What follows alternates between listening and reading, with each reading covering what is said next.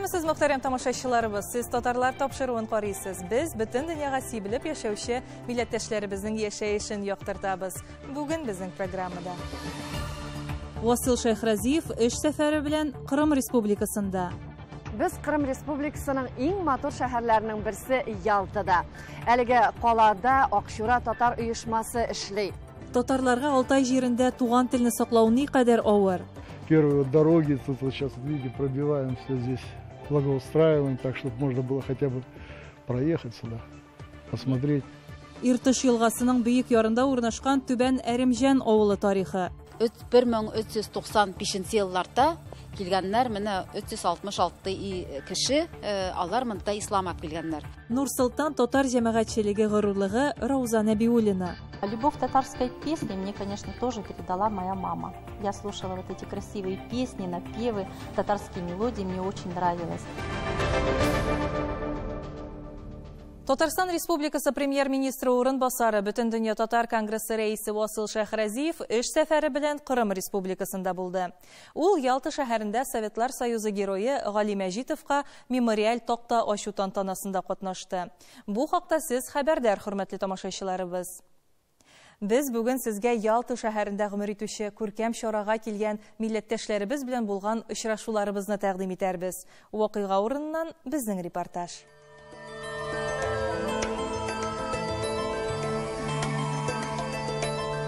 Біз Қырым Республикасының ең матур шәһәрләренең берсе Ялтыда. Әлеге қалада Акшура татар оешмасы эшли. Ә, Татарларның саны күп булмаса да, кылган гамәлләре байтак. Менә инде күргәнебезчә, ә, монда ә, Советлар Союзы каһарманы Гали Мәҗитовка такта ачылды. Икенче елга аның нәкъ менә 110 еллыгына бюст ачылачак. Біз көрген едік 07 году э, доктана Гали Ахмедович Мазитовна тұрған иіне. чтим память героев и будем это делать. И очень здорово, что сегодня здесь присутствуют наши юноармейцы, наши кадеты, которые сохраняют эту память и которые будут их нести ее дальше. Әйе, Гали Мәҗитовның исеме яши һәм яшиячәк. Моның өчен Акчура татар оешмасы да зур көч куя. 96 елда біз башладық эшләргә. Иң беренче, конечно, миндән дә алда алдан э, Рауф Каримович Акчурин булган. Ул алар э, Гөлзада белән уйлаганлар Галимҗан Ибрагимовка такта куярга. Галимҗан Ибрагимов монда 9 ел яшәгән. Ялта шәһәрендә татарлар саны күп түгел, әмма кылган гамәлләре байтак. Бу көнне без милләттәшләребез белән нәкъ менә Советлар Союзы каһарманы Гали Мәҗитовка истәлек тактасы ачылган урында аралаштык. Без бергәләшеп костюмнар тіктік. Безнең татар җәйлек костюмнар бар. Кыш өчен костюмнар бар. Биеп йөрибез, йырлап йөрибез. Татарча сөйләшәбез рәхәтләнеп. Э, Үзебезнең телебезне э, онытырга ярамый. Яратам. Үземнең татар телемне яратам и онытмайым. Балаларыбызны да өйрәттек татарча сөйләшергә. Сөйләшәләр. Әйе, татарча сөйләшәләр балаларда. Жыелашабыз, бәйрәм- бәйрәмнәрне үткәрәбез, сабан турларына элек э, гел үткәрәдек һәр ел барып, э, концерт номерлары әзерләп, э, шулай участие принимали. 2022 елда Ялта шәһәрендә милләттәшләребез Сабан туйны Кырым татарларының Хыдырылыс бәйрәме белән берлектә уздырырга уйлыйлар. Безнең бит э, бергә көч, бер- бергә генә көч. Шуңа күрә безнең э, ният э, бергәләшеп, бөтен бәйрәмнәрне бергә үткәрергә, бергә шатлыкларга яшәргә, шатланып яшәргә. Татар булып туган, татар булып яшәгән, татар телен укыган, татар телендә сөйләшәм. Мине миннән аны кагып чыгарып булмый инде хәзер. Татар булып калам. Менә шундый күңелле чараларда гына очрашырга язсын. Ләйсәнә Садретдинова, татарлар, Ялта шәһәре, Кырым Республикасы. Алтай татарлары турында сөйләүебезне дәвам иттерәбез. Әлеге республикада 414 татар гына яшәсә дә, аларның төбәктә тоткан урыны гаять зур. Милләттәшләребез җәмәгать эшендә дә актив, араларында эшкуарлар да бар. Бүген без Алтай крайының татар мөхтәрияте рәисе Әнвәр Әминовның эшмәкәрлек эше белән дә таныштырырбыз. Ул мараллар, умарталар тота. Ни рәвешле ул бу эшкә кереп киткән һәм Алтайда татарлар арасында эшмәкәрләр күпме? Сүз Айзат Шаймардановқа.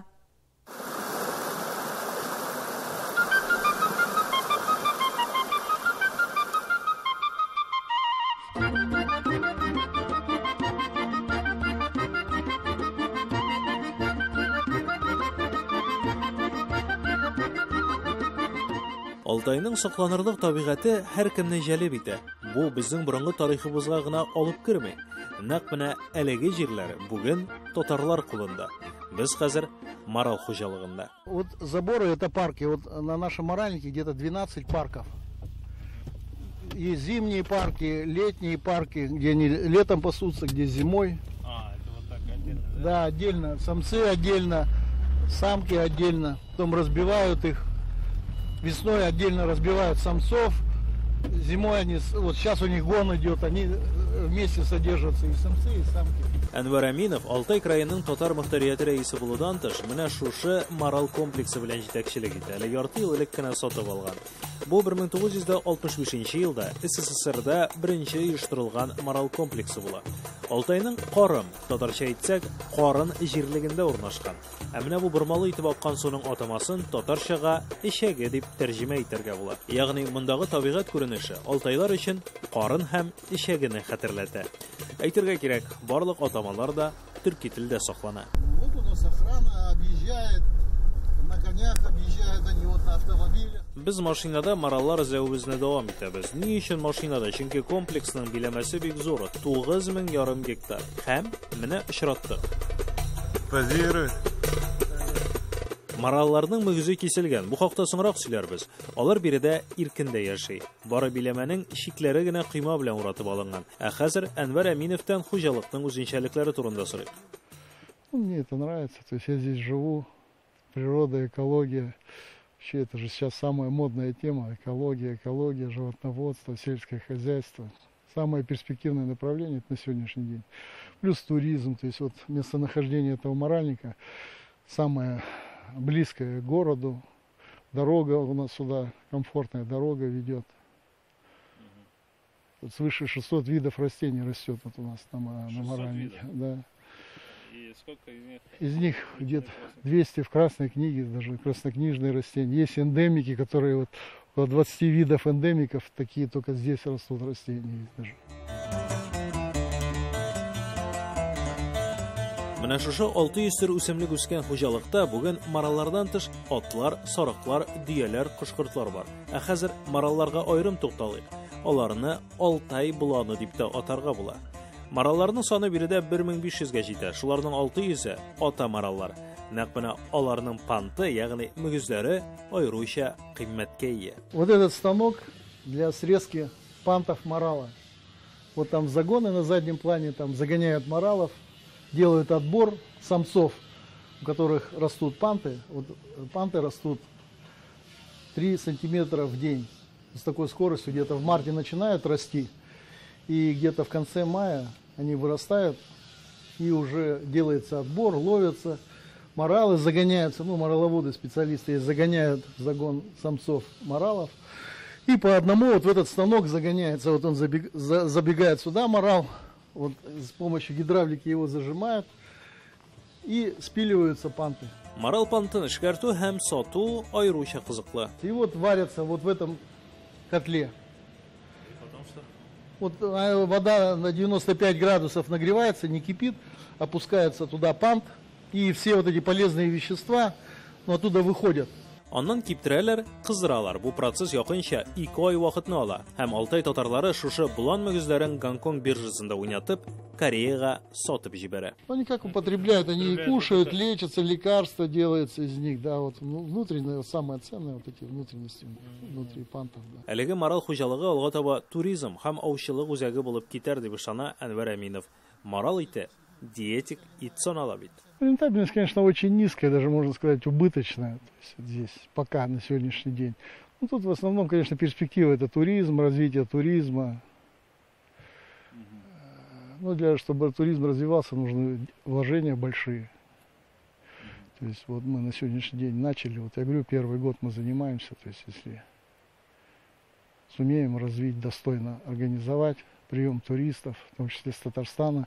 Сейчас многие любят не только с Татарстана, со всей России, из-за рубежа приезжают много туристов посмотреть. Всем же сейчас не то, что комфорт нравится, наоборот, дикая природа всем нравится. то есть, а у нас она такая природа, ну, то есть первозданная, можно сказать. Это вот мы первые вот дороги, тут вот сейчас, вот видите, пробиваем все здесь, благоустраиваем, так, чтобы можно было хотя бы проехаться. Әнвәр Әминов эшкә татарларны алырга тырышам ди, ләкин Алтай Республикасында милләттәшләребез саны аз шул, бары 414 кенә.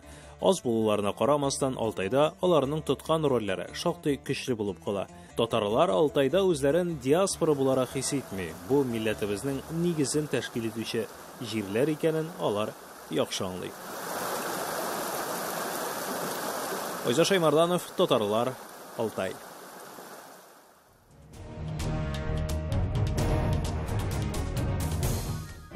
Мин Тотар Курганнан, Эчкен авылыннан. Ассаламу алейкум. Özümüzün kolluğumuzga oňatyrбыз. Şuna вот кирәк, активно участвовать иткәле үзебезнең хат яшь малайлар белмәйләр үзебезнең тел телне. Ну, үзләре әйтәләр без тотарлар без. Гурурларын тотарлар. Без тотарлар без. Без безнең авылыбыз 2500 ел булган. И еще булыр тотарлар. Тотарлар иншаллах.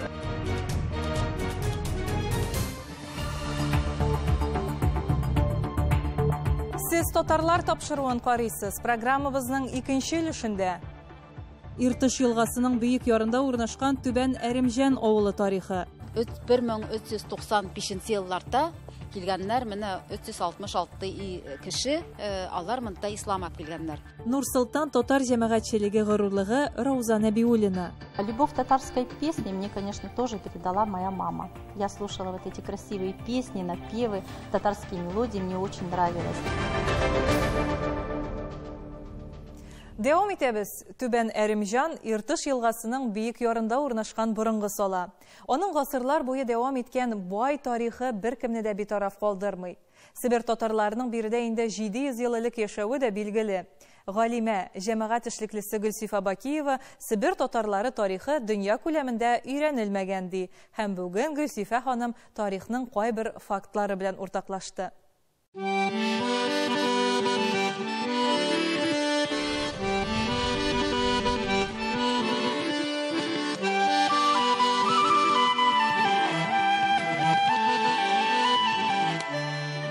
Түбән Әремҗан тубылдан 50 чакрым ераклыкта Иртышның текә яр буенда урнашкан Сибир татарлары монда берничә гасыр дәвамында яши. Авылга ничә яшь булуын түгел генә беркем дә әйтә алмый. Бүген сала тарихы белән бер генә галим. Тарих фәннәре кандидаты Гөлсифә Бакыева шөгыльләнә. Туган авылы турында ул китап әзерли. Катсан аны төрүсен әйткәле булмайды. Мин үлем 14 гасырдан алттарак дип Николай тип, ник дисәң, монда шейхлар булган кой, килгән Урта Азиятан 14-нче гасырдан 1395 елларда килгәннәр, менә 366 кеше, алар монда ислам ап килгәннәр. И безнең авылда менә Астана булгац, без уйлайбыз, что монда уже авыл булган. Астана Бухарадан булган ислам дине әһелләре җирләнгән урын билгеле булганча Себергә исламны 366 шәйх алып килә. Күбесе монда кала. Тубыл архивында сакланучы материалларда биредә Хөсәйновлар нәселеннән булган шәйх Дауд җирләнгәне искә алына. Соңрак авылның түбән өлешенә рус халкы килеп төпләнгәч, татарлар шәйхның каберен Иртышның текә ярына күчерәләр. Елга бер тапкыр Астана сакчылары мавзолейны ачып, аны рәткә китерә. Җирле халык өчен Шәйх Дауд кабере хәтер һәм истәлек урыны. Авыл тарихын өйрәнү барышында Гөлсифә Бакыева архивларда Ермак гаскәрләренең Түбән Әремҗан халкы белән бәрелешләре турында кулъязмалар таба.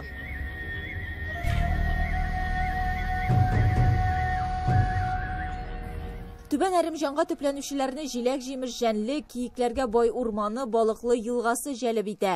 Авыл икегә татар һәм руслар яшәүче өлешләргә бүленә, аларны сала уртасыннан ага торган Татарка елгасы айырып тора. Үзара дус яши халык. Гөлсифә Бакыева эзләнүләрендә авылның татар өлешенә кагылышлы тагын бер кызыклы факт бар.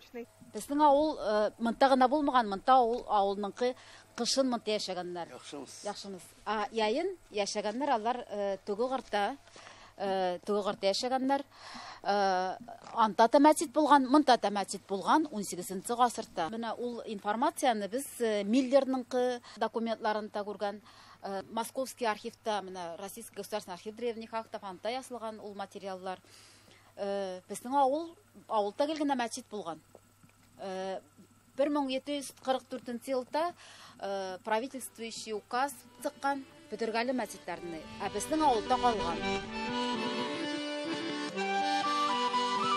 менә без торабыз монда мәчет янында. Бу мәчет яңа.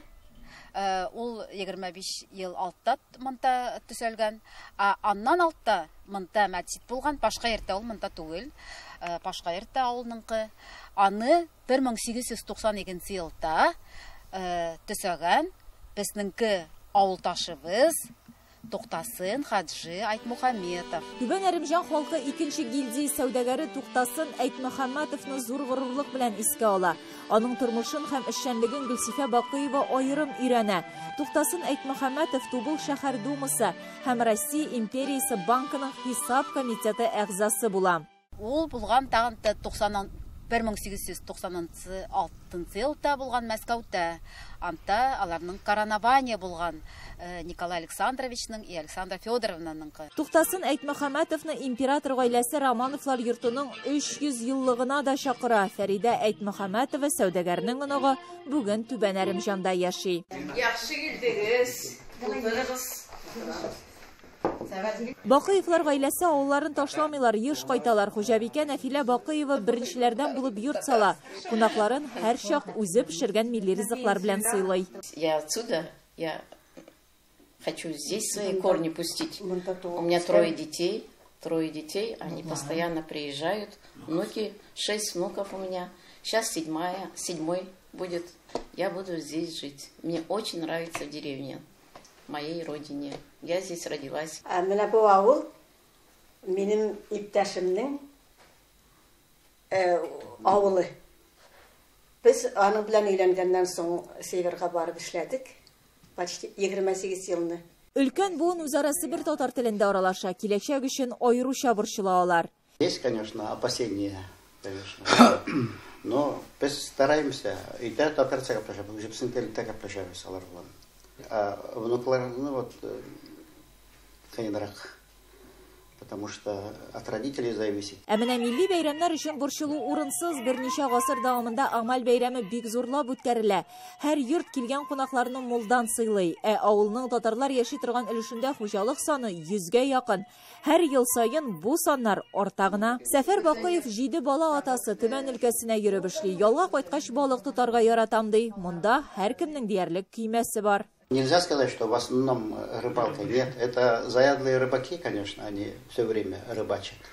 А так, в основном, мы, как любители, все равно как-то выходим, конечно, удочками. Авылның табигатен чиста итеп саклау өчен халык монда митингларга чыгарга да әзер. 2017 елда Иртыш яры буенда урман промышленности төзелешен туктатуга ирешәләр.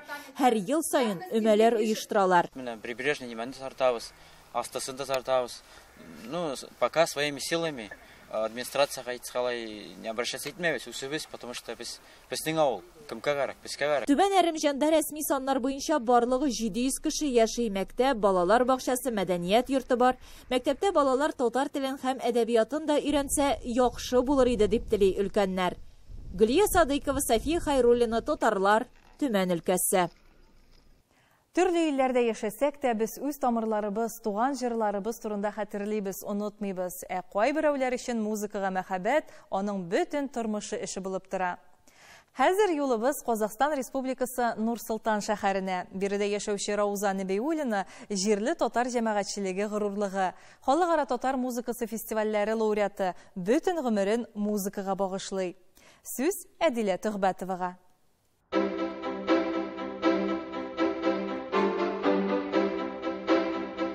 Астана опера дәүләт опера һәм балет театры 2013 елда ачылган һәм Үзәк Азияның иң зур театры булып тора. Аның репертуарында күренекле милли композиторлар Тулибаев, Жубанов опералары һәм тумышы белән Казан губерниясыннан Латиф Хәмиди әсәрләре бар. Дөнья классикасы Верди, Пучини, Чайковский һәм башка опера спектакльләре белән тәкъдим ителә. Театрның горурлыгы аның хоры.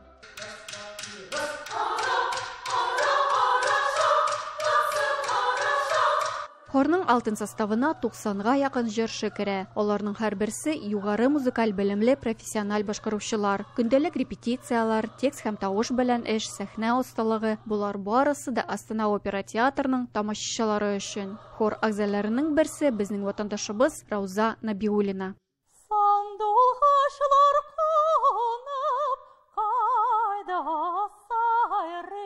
Музыка училищесын, аннары Алмата консерваториясын тамамлагач, Евразия Гумилев исемдәге институтына җибәрелә. Анда музыка белемле кафедрасында вокал буенча педагог булып, 18 ел эшләгән инде. Шул ук вакытта Куляш Басиитова театр хорында җырлады һәм 2013 елдан ук Астана опера театрында эшли. Музыкаль тормышы дәвамында концерт эшчәнлеге белән шөгыльләнә, шәхси концертлар үткәрә. Музыкага мәхәббәт балачакта туган дип әйтә Рауза ханым. Любовь татарской песни мне, конечно, тоже передала моя мама. Я слушала вот эти красивые песни, напевы, татарские мелодии, мне очень нравилось. Но в детстве просто как-то я еще не понимала, мне казалось, что это сложные песни, я не могу спеть. А когда уже я стала учиться профессиональному пению, тогда уже в консерватории, музыкальном училище я начинала, начинала петь песни татарских композиторов. Яхина, Хабибулина, Ерулина. Мне очень нравились эти мелодии, и до сих пор я их пою.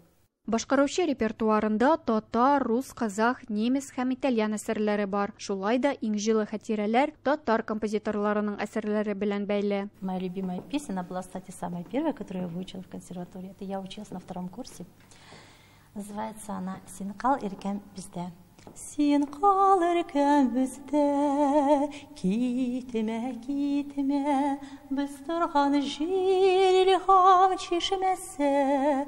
Очень очень красивая песня. 9 еллардан татар үзәге эшчәнлегендә актив катнаша, татар башкорт мәктәбендә дә укыткан иде. Үсеп килүче буынны үз халкы сәнгатенә һәм мәдәниятенә җәлеп итү бик мөһим дип саный ул. Отрадно, что в татарский центр сегодня ходит много молодежи и детей, которые учат национальный язык, поют татарские песни, танцуют татарские танцы, одевают национальные костюмы.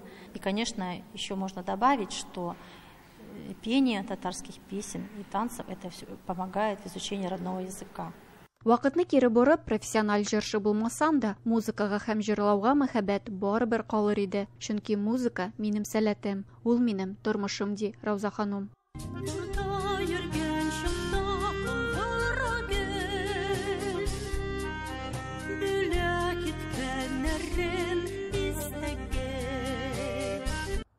Әдилә Тухбәтова, Татарлар, Нурсултан шәһәре, Казахстан. Тапшыруыбызны Ринат Харис шигырь юллары белән төгәллибез. Ничә тапкыр тарих җилләрендә татар аты ялын шайкады. Ә аның кем дисезме? Татар халкы аның җайдагы. Бүгенгә сезнең белән сау булашабыз. Исән-имин яшәгез.